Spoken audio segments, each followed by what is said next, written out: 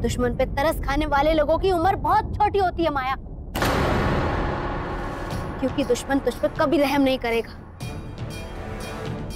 इंसान नाक का फन कुचलने में देर नहीं करते। पर मनस्विनी ऐसी नहीं। है उसने मेरी मदद की है। तब उसे नहीं पता था कि तू एक नागिन है। वरना वो तेरी मदद नहीं करती तेरा फन कुचल देती।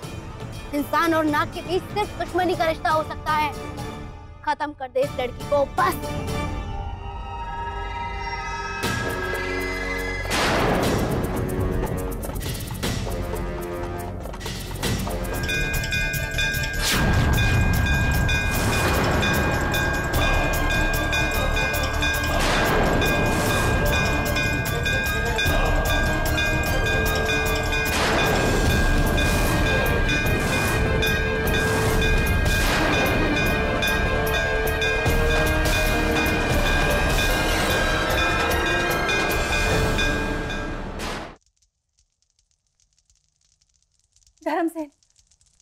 देवसेना का कुछ पता चला?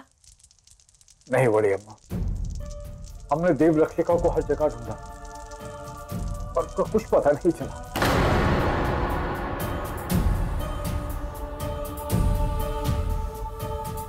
बड़ी अम्मा। देवसेना बुआ गायब है। और आप में से किसी ने मुझे बताना भी ज़रूरी नहीं समझा। ये सब क्या हो रहा है बड़ी अम्मा? कहाँ है बुआ? पापा आप तो मुझे बताइए। कहाँ है बुआ?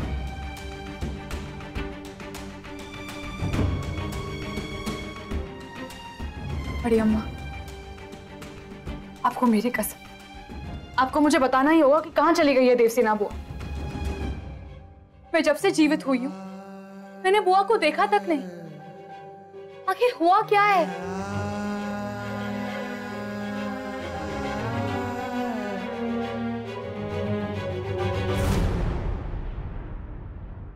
जब तीर दुश्मन पर चलता है तो उसे कमान से दूर जाना ही पड़ता है मनस्वनी। बड़ी अम्मा वो सिर्फ़ मेरी बुआ नहीं मेरी माँ मेरी बहन और मेरी सहेली भी। और मैंने सिर्फ़ एक रिश्ता नहीं खोया है। मेरे सारे रिश्ते खो गए। और इन सारे रिश्तों को खोने के लिए सिर्फ़ मैं जिम्मेदार हूँ। धर्म से समझाओ इसे। इस वक्त बाहर जाने से कुछ हासिल नहीं होगा। हाँ बेटा हमने देव रक्षिकाओं को हर जगह ढूंढा। और उनका कोई नामो निशान नहीं मिला। बड़ी अम्मा सही कह रही तुम्हें यही गौड़ मठ में रहना चाहिए। आप इस महल की बड़ी रानी हैं। हम इस महल को, इस वंश को आपकी ज़िम्मेदारी पर छोड़कर बाहर गए थे।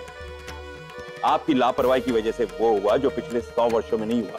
नागवंश ने इस महल की दहलीज को लांगने का साहस किया है। युवराज माधव मौत के मुँह से वापस लौटे हैं। इसकी जिम्मेदार आप है रानी साहिबा। वाह जेठ जी।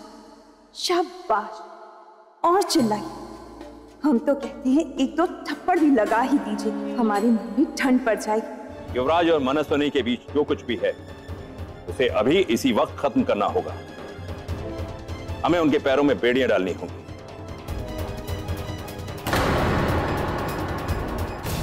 मतलब? चित्तौड़गढ़ ये संदेश भिजवा दिया जाए। कि बरसों पहले हमने जो वादा किया था उसे पूरा करने का समय आ गया है। आपका मतलब? जी। हम चित्तौड़गढ़ की राजकुमारी से युवराज के विवाह की बात कर रहे हैं। हमारा विवाह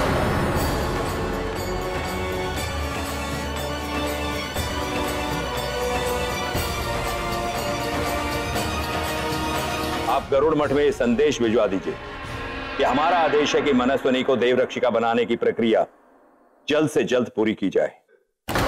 आप ये नहीं कर सकते महाराज। मनु की ज़िंदगी का फैसला लेने का आपको कोई अधिकार नहीं। अधिकार का पाठ आप हमें मत पढ़ाइए। जो राजा प्रजा के लिए बलिदान देता है उसे यह अधिकार होता है कि समय पड़ने पर वो प्रजा से बलिदान मांगे। पर महाराज बस।